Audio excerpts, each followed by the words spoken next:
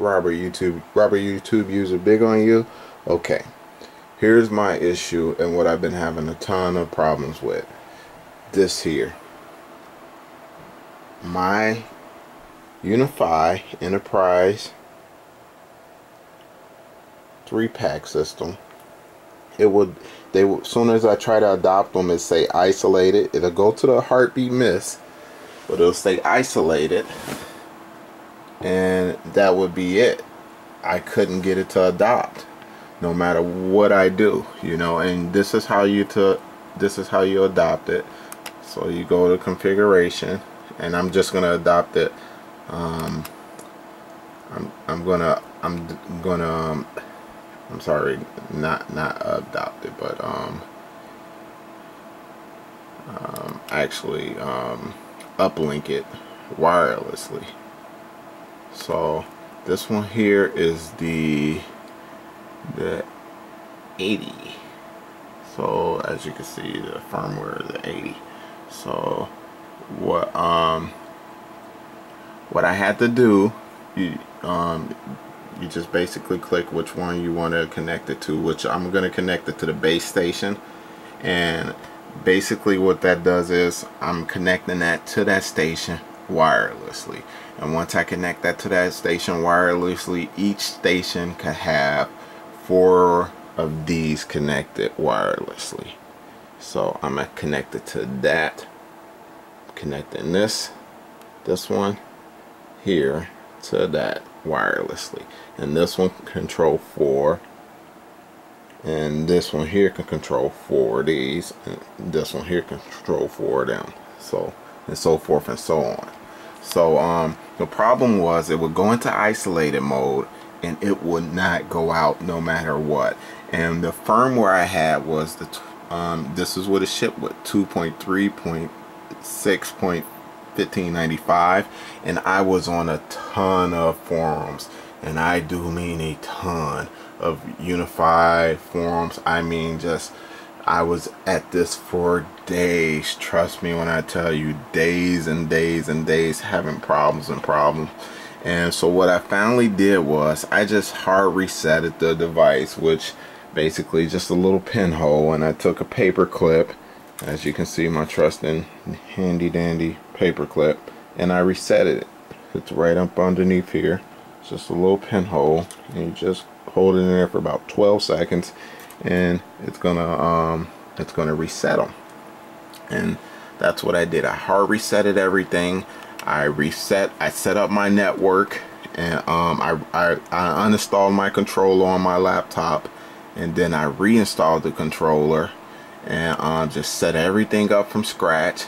I put my network on, as you see on um, 192.168.1.26 it's the same I put it on the same as the Ubiquiti controller which is the 1.20 that's to get into any of the Ubiquiti de devices. And but it just it would not adopt wirelessly. It just do what it's doing there and then be isolated. And as you can see I've already got one connected wirelessly. And what I had to do was I'll show you guys here. Once you get everything reinstalled click down here on your on your admin page. I had this selected to automatically upgrade firmware. I left that unchecked. For some strange reason it would not do it. And so um, from there as you can see right here I'm gonna and I'm gonna upgrade that firmware there. So I'm just gonna click right there upgrade. And it's gonna show upgrade as you can see right there and there. And all of them I had I even had the firmware written down 2.3.6.1595 and now this is the one that I went to the 2.4.1.2004 this has been driving me absolutely insane. But once I upgraded the firmware then I could easily go ahead and after it misses heartbeat it goes into isolated mode. And then I could hit I could go ahead and hit um, from there I could go ahead and hit click on wireless uplink and click select it gives me this warning here. Topology has changed. Hit OK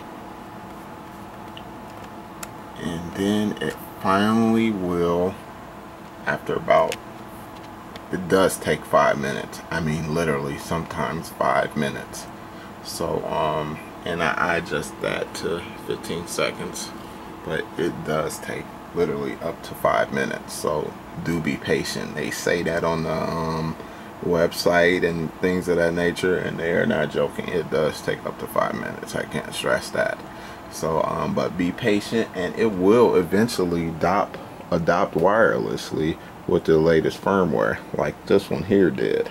And as you see I, I I I mean I took this one to to scratch by um even writing the firmware down labeling each access point just the basics I mean I, I did this down to the basics because I wanted to make sure I wasn't missing a step make sure I wasn't doing something wrong. I'm usually pretty decent with installing things and networking equipment and things but I was ready to give up and just run them um, with some um, weatherproof ethernet cable.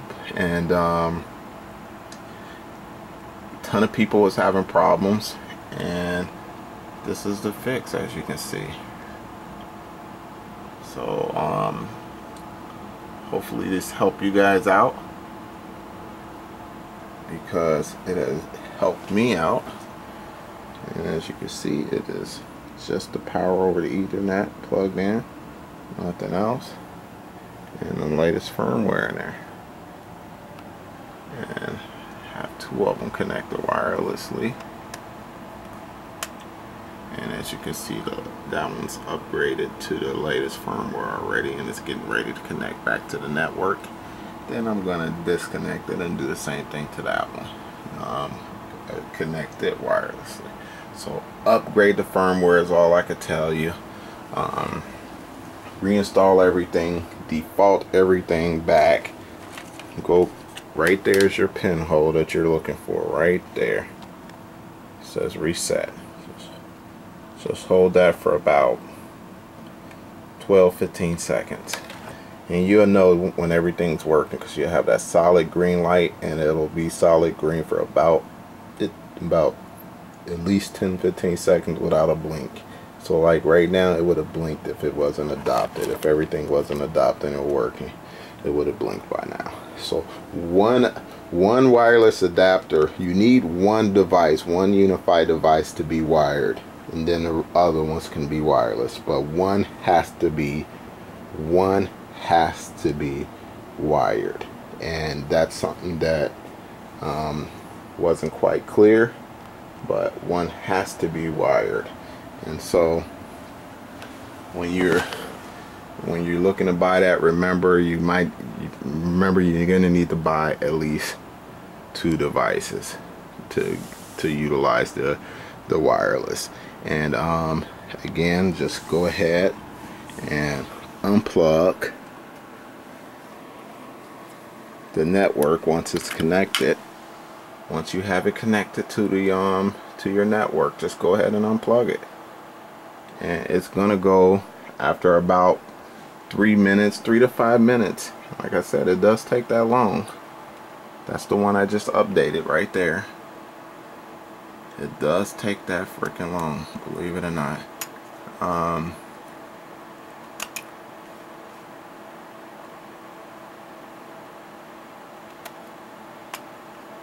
once it goes miss that heartbeat once it missed that freaking heartbeat you go in there and you select which one you wanted to uplink well you have to adopt it. Then you um, and you you could uh, um, oh, sorry. I'm losing myself here. So you go right here. Nope. Where is it at?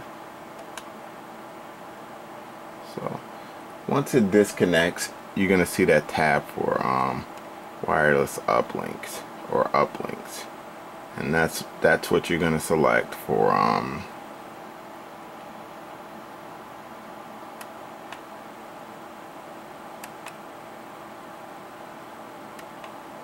to connect. That's what you're gonna use to connect the actual adapters to. Like I showed you prior you're gonna actual that's how you're gonna use. Um, you're gonna just select that and just like in this these here.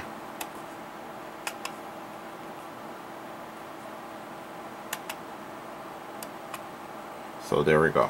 Heartbeat missed. Okay and then you see the tab wireless uplink. See how that just came? And now I can connect this up to I got them all on channel 11 also. So you could just go in here and config. And um, I'm sorry in radios. And select channel. It's on auto. But I'm gonna go ahead and move it to channel I'm gonna move it to channel 11 so I'm gonna move this one up. HT40 make this high power also because I want to um, make that one. And so then you're gonna go to you're gonna get the wireless uplink tab. You might have to click find more like I'm about to do right now. And then it just found the base station hit select. Hit OK.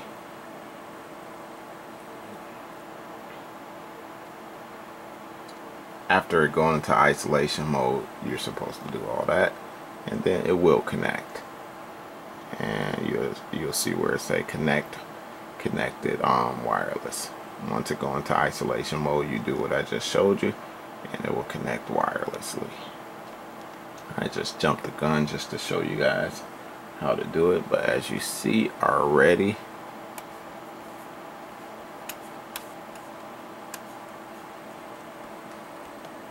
I have two of the three already connected wirelessly. So this does work. That's and that's the process for doing it sorry for having the camera a little shaky but it is 12:30 something at night on a one in the morning and I've been at this oh my lord days and days to two three in the morning just about every day just about every day. So um but that's how you do it. Um let me see here. I'm, so it's isolated and then you just go ahead and you select and that's once it's isolated you do it. And then it will connect. It'll take up to five minutes to do that but it will connect and you'll be good to go. So sorry for the long drawn out explanation of everything but this was kind of a an issue to say the least. Um, for those of you who bought the box and didn't have much of a problem lucky you. But for me and a ton of people in the forums who have firmware issues and obviously there are a lot of people who have firmware issues if you do some googling and some research there are a ton of people they actually begging for help um, this is for us and for the people who are up at 1 a.m. and 3 a.m. scratching their head and losing their head trying to figure this out Robert YouTube user biggonyou thanks for watching please like or subscribe and um, I'll try to keep these videos coming